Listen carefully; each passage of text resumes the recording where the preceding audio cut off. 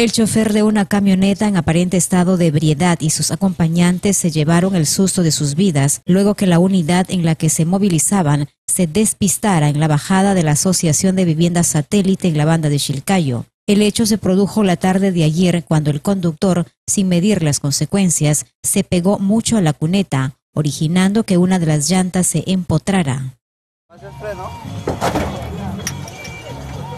De mecánica.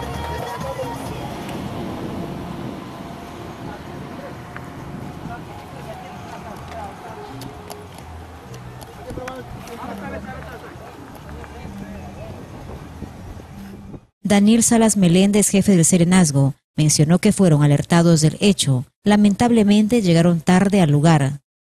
Sí, ha habido un despiste ayer en la tarde de un camioncito que había llamado a los vecinos al Serenazgo eh, en la bajada de la muerte de lo que es satélite.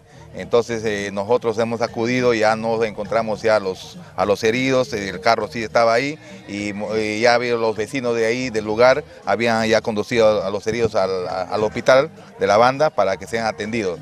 Nosotros estamos trabajando constantemente en forma oportuna, esta vez llegamos un poquito demasiado tarde, pero hemos estado ahí en lugar de los hechos. Salas Meléndez contó que pidieron información a los testigos, quienes le señalaron que aparentemente estas personas se encontraban con signos de haber libado licor.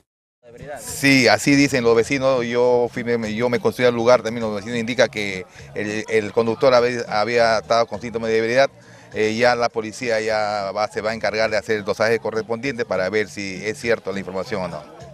Finalmente indicó que vienen trabajando de manera conjunta con la Policía Nacional sobre seguridad vial y ver que irresponsables eviten manejar cuando hayan tomado licor. Justamente estamos trabajando en este, este tema conjuntamente con la policía en los temas de seguridad vial, que es muy importante eh, para poder nosotros controlar a, a, los, a los vecinos que manejan su vehículo, que dejen de manejar si van a requerir alcohol.